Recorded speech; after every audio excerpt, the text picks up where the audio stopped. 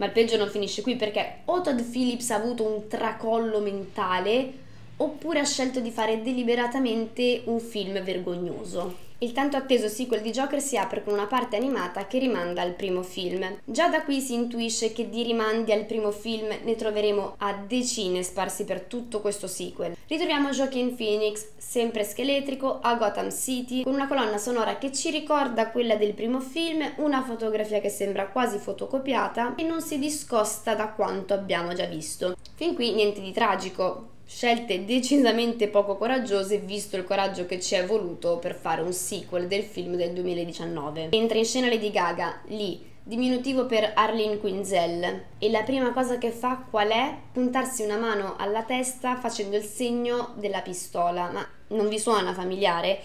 Eh sì, perché Todd Phillips ha deciso di imboccarci fino alla nausea di tutti quegli elementi che hanno reso iconico il primo Joker. E quindi rivediamo Arthur che guarda fuori dal finestrino le luci della città, la famosa scala, il put a smile on it, il calcio del ballo di Arthur, la risata di Arthur che sembra sempre ogni volta di più sforzata e addirittura alla citazione letterale del You weren't get it.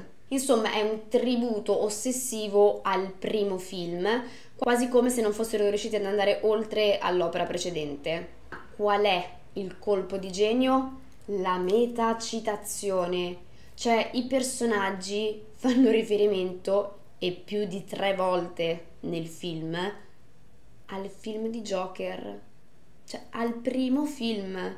Cioè lì a un certo punto esclama, da quando hanno fatto il film su di te sei diventato una star. Ma in che senso?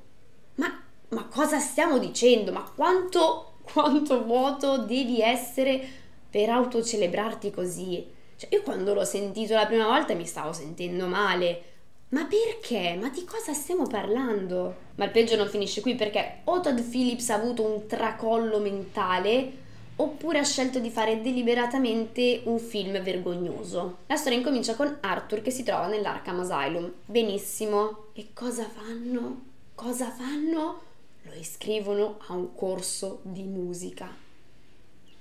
C'è il Joker, uno dei villain più complessi ed enigmatici di sempre, lo iscrive a un corso con il coro musicale in prigione tra l'altro, poi da qui il personaggio di Lady Gaga, Arlene Quinzel, trasforma tutto in un musical. E molti dicono: No, ma non è un musical. No, no, no, non si può definire musical.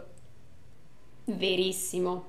Non ricade perfettamente nella categoria di musical. ma non ce ne frega niente che ricada nella categoria perfetta per definirlo musical questi cantano, cioè questo è l'importante, chi se ne frega, è un film musicale, è un musical, non ce ne frega niente se è un musical vero e proprio. Questi due cantano, il tutto succede solo nella loro testa. Fino a qui potremmo dire, vabbè, sono gusti, cioè chi piacciono i musical o comunque i film dove ci sono delle canzoni e chi no. Giustissimo. Parliamo della storia. Da viene da ridere Qual è la storia? Cioè Todd Phillips Company decidono con molto coraggio di produrre un sequel di Joker, film di cui nessuno, nessuno, nessuno aveva bisogno. Ci buttano dentro Harley Quinn, lo chiamano Follia 2, un titolo che insomma promette caos, disordine, esplosioni di follia tra due menti disturbate. E cosa fanno loro? C'entrano tutti tutta la narrazione sul processo. Ma a me cosa me ne frega del processo? A noi non ce ne fregava niente del processo. Io volevo vedere Joker, Harley Quinn che distruggevano la città.